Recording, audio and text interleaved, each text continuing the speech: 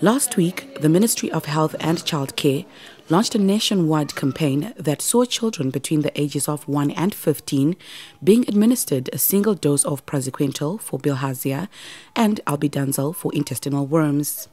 mwana kana aine izvi kana aine tapeworm kana hookworm haakure zvakanaka.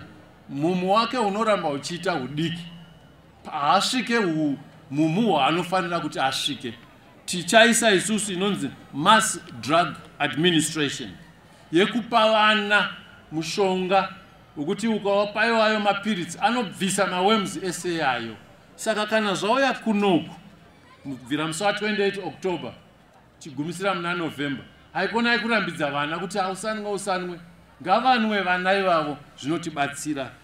Bilharzia is a disease caused by parasites that live in freshwater snails while intestinal worms find their way into the body through contaminated foods and through the skin, especially walking barefoot through contaminated water. Birchneuf Bridge in the Buhera South District is a drought prone area that relies heavily on alternative sources of water, such as this irrigation scheme. mvura yekumwa idambudziko zvakanyanyisa tine akati wandei anotomwa mvura direct kubva murwizi hakuna kana tapped, even tapped waters kana maboho hakuna nzvimbo iyoyo kana vanofamba kana more than 10 ks kuenda kune the nearest boho. Chirwere chebilharzia chakakura zvakanyanyisa.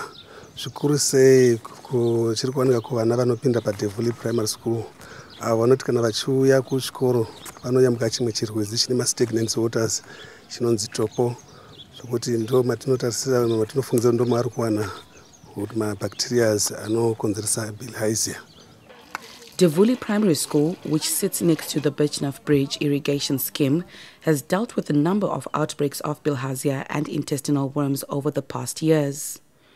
The school is surrounded by open water sources, which over time have become contaminated and a breeding ground for disease and parasites.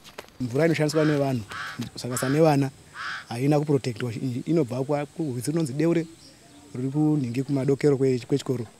Eh, saka inofamba yakavhurika ichikusvika yazvosvikawo kuno yoshandiswa nevarimi. Then yasara yacho inozorasika imwe ichida kana pachikoro. Saka iyoyo ndo inozoita dambudziko kuti vana vanopindamo vachiteka mvura vanenge vachitamba because this area kunopisa zvakanyanya.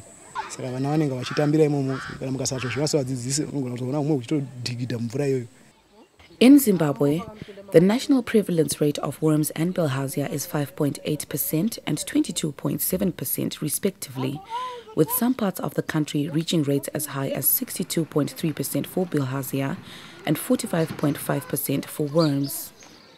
If left untreated, bilharzia can result in complications such as anemia, lack of concentration leading to poor performance in class, cancer of the bladder, male and female infertility, and an increased risk of contracting HIV and STIs in women.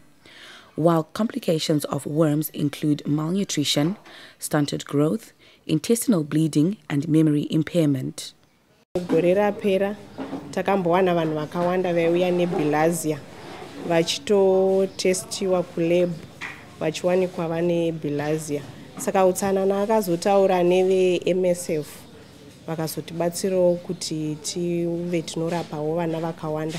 Pakaitwa fundiso kana zvidzidzo zvaikurudzira vana kuti vasava vanofamba vanopinda mumvura dzemumakanari uye zvakakurudzirwa kuti vana vasadhidhawo mumasave